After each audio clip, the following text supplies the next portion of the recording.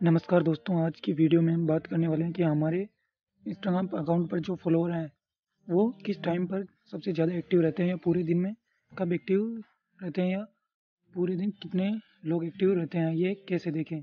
तो चलिए स्टार्ट करते हैं वीडियो को जल्दी से। और चैनल पर नए हैं तो सब्सक्राइब और वीडियो को लाइक ज़रूर कर दीजिए।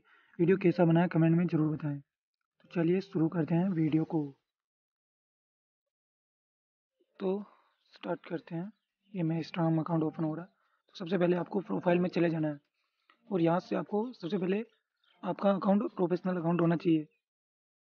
तो उसके लिंक आपने, आपका अगर प्रोफेशनल अकाउंट नहीं है तो उसके बारे में मैं पहले भी एक वीडियो बना चुका हूँ। तो आप वहाँ से देख सकते हैं। लिंक आपको डिस्क्रिप्शन में मिल जाएगा। तो सबसे पहले आपको इनसाइट का ऑप्शन आपको मिल जाएगा। इनसाइट के ऑप्शन पर क्लिक करना है। और यहाँ पर आपको टोटल फॉलोअर्स के ऑप्शन पर क्लिक कर देना है। तो यहाँ से आपको नीचे की तरफ़ आ जाना है। तो यहाँ पर आपको मिल जाएगा यहाँ पर मोस्ट एक्टिव टाइम्स यहाँ पर आप देख सकते हैं कि किस टाइम पर सबसे ज़्यादा लोग एक्टिव रहते हैं।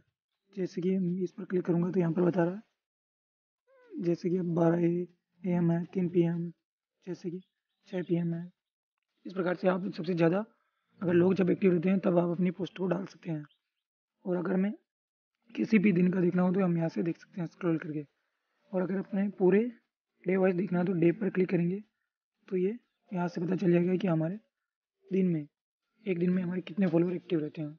यहाँ से हम देख सकते हैं।